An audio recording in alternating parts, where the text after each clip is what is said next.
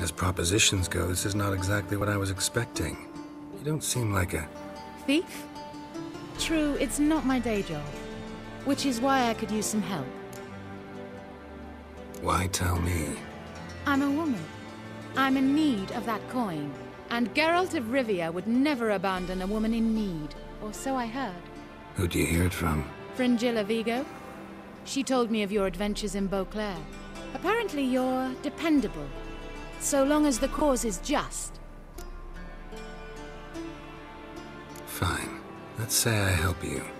I'll split the coin with you, of course. What's the plan? First, you must stay to the end of the tournament. I shall tell you the rest when the time comes. All sounds pretty mysterious, but fine. Excellent. Now that's settled, let's rejoin the others.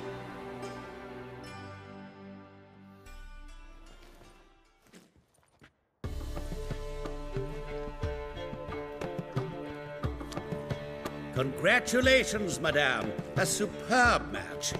Did you expect to be victorious, my lady? Yes, I had a good feeling about the tournament. Thief! The coin's gone. The guard's been stabbed. What? How is this possible? No one's removed the coin from the premises. All those leaving were searched. Phew! We must scour the building. Anyone leaving must pass inspection.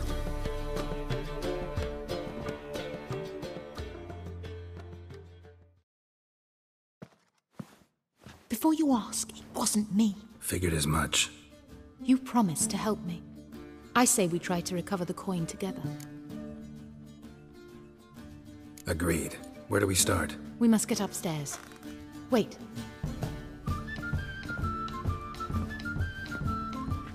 I say, this Witcher is Captain Hansen's good friend.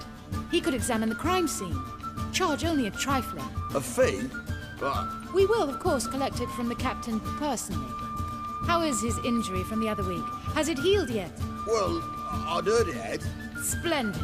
We shall go upstairs at once.